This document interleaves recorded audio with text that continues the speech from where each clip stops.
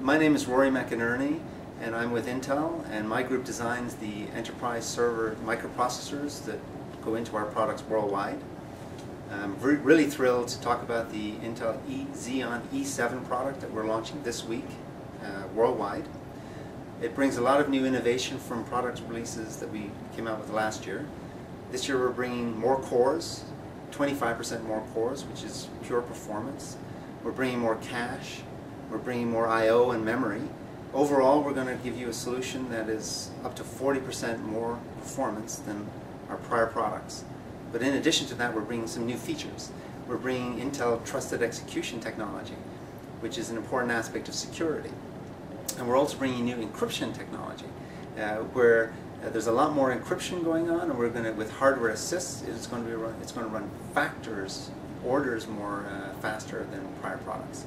Okay, and tell me about the vertical markets. What, what level are we talking about here? We're moving it into well, the high-end space? This is an enterprise class uh, product. It's typically four CPU sockets and higher. We'll be launching systems that go all the way up to 256 uh, sockets.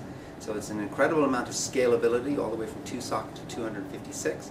Classic enterprise data centers will look at this. Uh, high performance computing will look at it, but also uh, mission critical markets. So where there's a lot of legacy risk systems, they will also look at this uh, as many, uh, as more companies look to transform and port their existing legacy uh, applications over to an open standard Windows Linux uh, system on Intel architecture. So those are the types of markets that we will go after with this system. Okay. Uh, what type of partners have uh, you brought on board? What type of partners are actually going to be launching products based upon these processors? We have a very broad, both hardware and software ecosystem that's coming along with us. Uh, we have over 80 systems that are going to be launching uh, this week alone. And in the mission critical space, we have major vendors from IBM, SAP, HP, Oracle, Red Hat, all coming to the table with uh, software supporting this product into the mission critical space. So a very broad ecosystem. Okay. Uh, is there any any implications for data center design, data center layouts? What's actually going to happen within the data center yeah. for the systems that are going so to? one of the things we one of the things we pride ourselves is we have a roadmap of technologies that go out three to five years, and we like to keep a consistency in that roadmap.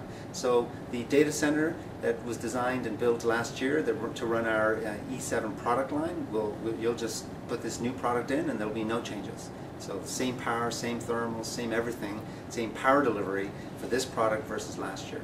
And uh, we, we take that very seriously. We know the infrastructure is important, and we, you know, if something new has to go in, it's, it's a, it just is an impediment for somebody to buy our product. So we want to make sure that everything is, is standard and, and is compatible from last year to this year.